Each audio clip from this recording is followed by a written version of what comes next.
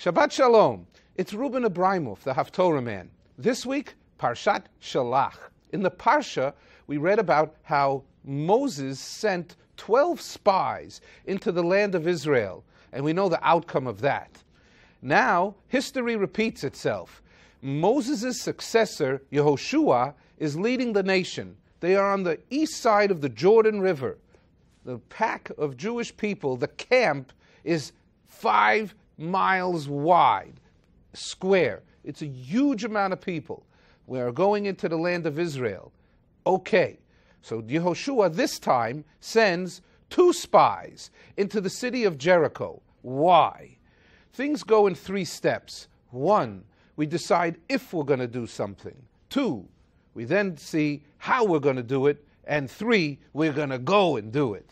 That's the Israeli way. So here, you see that today Yehoshua only sends two spies. That is different than the 12 spies. Then, here it starts from the book of Yehoshua. And these two spies go into the city of Jericho. And very, very quickly, they're detected that these spies are in the city. Where did they go? They went to the house of Rachav, Rachav Hazonah. So there's many, many interpretations of what a zonah is. One, the literal translation, that she was a prostitute, and everybody came to visit her. And you also have the explanation that Rachav had a hotel, an inn, and uh, she would serve baked goods like mizonot. So if you were looking for tarts, this was the place to go. And Rachav now is protecting these two spies that the king's guards have identified that they went into her house. They knock on her door. She says, Hey, get upstairs, hide on the roof. I'm going to hide them. And it says, Vatitz beno. She hid, th- not two, not them, but she hid him. But they were two spies. So now what? It is that Pinchas was one of the spies, and Pinchas was angelic, and he was able to disappear himself. So Kalev ben Yefuna was the one that was left that she slid under. She comes to the door. The king's men are there, and they say, Turn over the spies. She goes, Would love to, but I can't. They left already. They went that away. And she sends them running, and the gates of the city of Jericho close.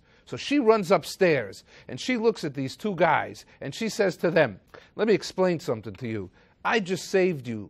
Now you have to do the same for me. I've been watching the nation of Israel for the past 40 years since they left Egypt. And now they've come to the east of the Jordan River. We, the Jer- Jericho people, we can see the camp. It's huge. We know you're coming to destroy us. So now, Mida keneged Mida that you have to do what I did for you. I want you to save me, my father, my mother, my brother, my sister, my family. And the spies say to her, Sure, no problem. We'll do that. If you tell anyone else and you put anyone else in this house, we're going to burn your house down too. So the agreement was made, and they promised that they would keep their word. So now she lowers them. Here's the famous story that she lowers them down on a rope out the window. Watch the f- spiritual flipping that men used to sneak into her house. Now she says, I am here to save you as men of the Jewish nation. She lowers these people down out of the window. And the agreement is that they will hang a red thread in the window.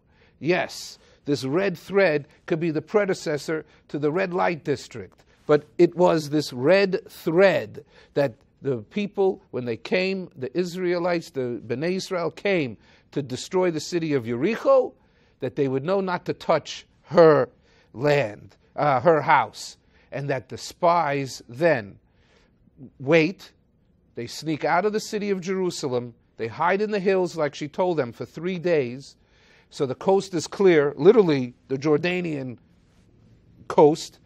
And then they go back to the camp with Yehoshua and they tell him that the city of Jer- Jericho, the city of Jericho, is ours. So this is a great story in the preparation of Bnei Israel coming into their homeland, into Eretz Israel. And what do we see? This woman with the worst reputation. However, she acknowledged the existence of God and she said, I'm going to help these people. So, what happened with this woman? It says that she converted, it says that she married Yehoshua, and it says from her, eight out of the 48 Nevi'im came. So, we watch the Haftorahs as our spiritual guides to think not just by laws of nature, because much of what happened to us was supernatural, but also we look at it to guide us how to think spiritually that we can grow closer to God. Shabbat Shalom, enjoy the Haftorah.